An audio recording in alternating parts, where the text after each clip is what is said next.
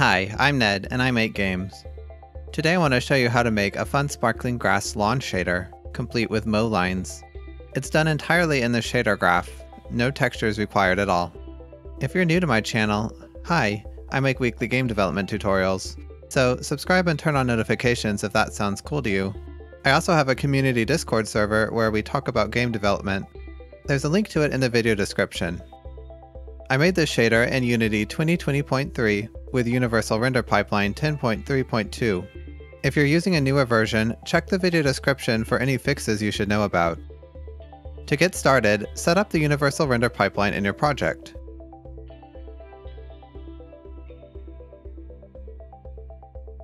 Create a Shaders folder and open it with your File Explorer. Create a new file named noise.hlsl then, go to the video description and copy the contents of the noise.hlsl file that I've linked there. It contains some noise functions that we'll need. I've adapted them from Totally Ronja's code. Check out our tutorials, they're all great. Once that's done, create a new URP lit shader graph and open it. Let's start with the mow stripes. We can create these by manipulating a sine wave. Create a sine node, now, for its input, create a UV node and multiply it with a stripe frequency property.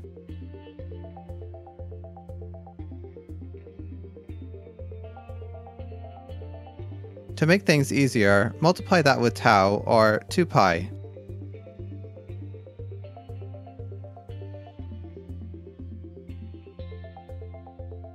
Use a split node to get the U component and feed that into the sine node.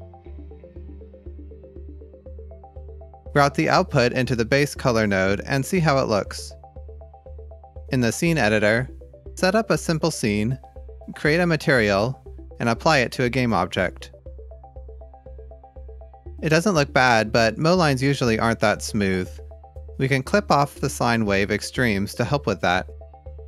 Multiply the sine wave with a stripe clipping property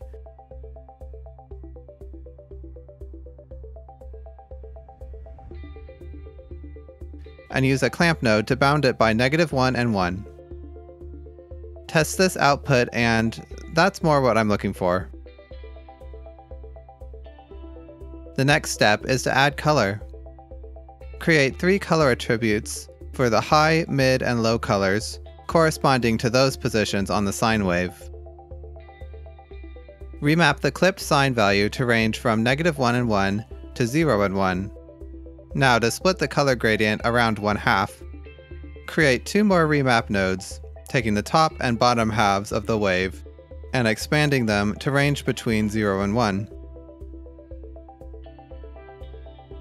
Feed both through a saturate node to throw out values outside of the range.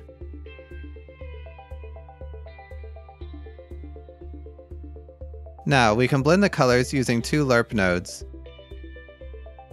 Feed the low and mid colors into the first, as well as the bottom half of the wave. Take the output and route it into the A field of the second lerp node. Fill the rest with the high color and the top half of the wave. And now we've made a three color gradient. To test it out, route it once again into the base color field of the master stack. Looks good, but we need to add some detail to make it actually look like grass. There's a type of noise called Voronoi noise, which produces these nice little angular cells. They kind of look like grass blades, right? Of course, you could use any texture you like for this, and a texture would probably be faster, but I'll stick with Voronoi noise for this tutorial. Our noise.hlsl file has a nice Voronoi generator that's tileable, so let's use that. Create a custom function node. Set the type to file, the name to Voronoi noise, and the source to noise.hlsl. Then add two inputs, a vector3 value and a vector3 period, and three outputs, a float cell, a float random, and a float edge. Plug a UV node into the value input and a new blade period float property into the period input.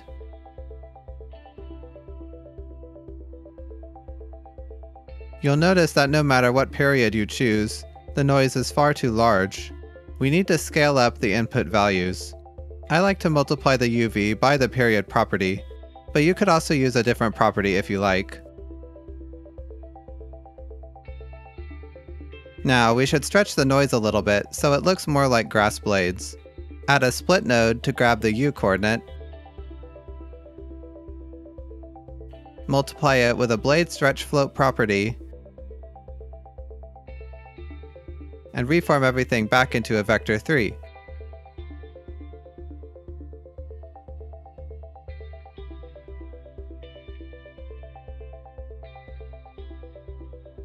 Before feeding it into the Voronoi Noise custom function node.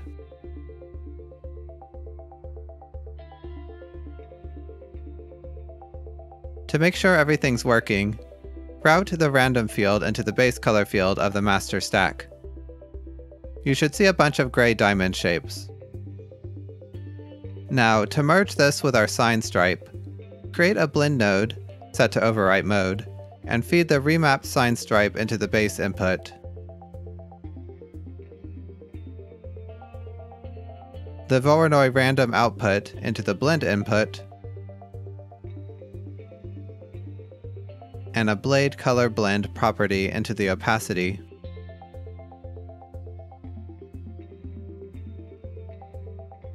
Feed the output into the color gradient remapping nodes. Reconnect the final color into the base color field of the master stack, and check out your work. That's starting to get somewhere. Now, let's move on to the normals. Mow lines form because the lawnmower pushes grass down in the direction that it moves, so normals will also be smushed along the mow direction. To compute that, multiply the clamped sine stripe by a normal blend float property.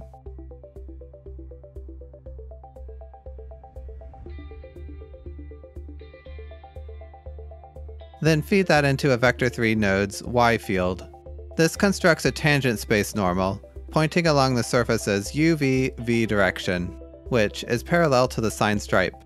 We don't want the normal to be completely flat, so set z to 1, normalize that vector, and feed it into a normal strength node, along with a normal strength property, to adjust the normal's appearance in the final material. Route the output into the master stack's fragment normal field. While you're there, make sure the fragment normal space is set to tangent space in graph settings. Save the asset and check it out in your scene. We should have the noise pattern affect the normals a bit. Take the Voronoi random output and remap it from 0 to 1 to negative 1 to 1. Then feed the sine stripe and this remapped noise into a blend node, again in overwrite mode, with a blade normal blend property as the opacity.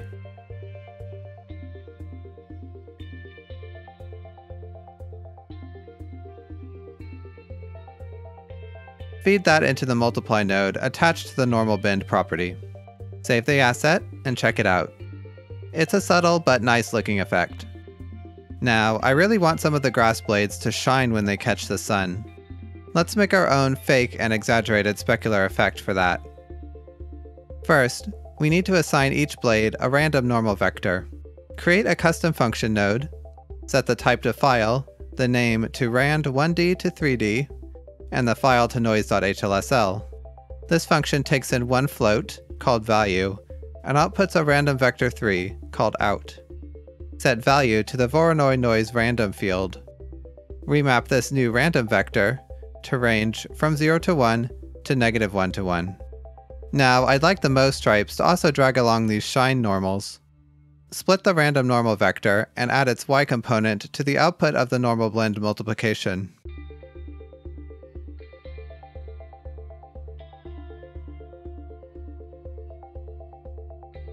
Recombine everything into a vector 3 and normalize it.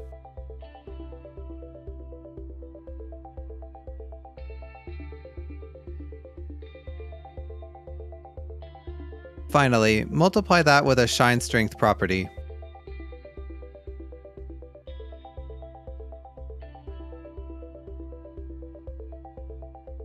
To compute whether this blade should shine or not, we need to see if the random vector is parallel with the view direction vector. Create a view direction node, set it to tangent space, and normalize it. Then, feed both vectors into a dot product node. This will return 1 if the vectors are parallel. Throw out all but the most parallel blades using a smooth step node, with a shine threshold property as the minimum edge. Multiply that with a shine color property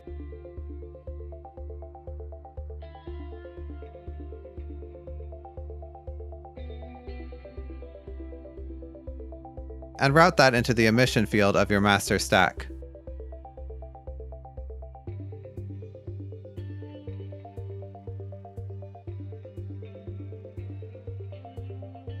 You can round out your graph with a few more tweaks.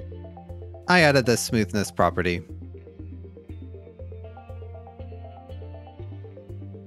And with that, we're done. The shader graph is a lot of fun to look at.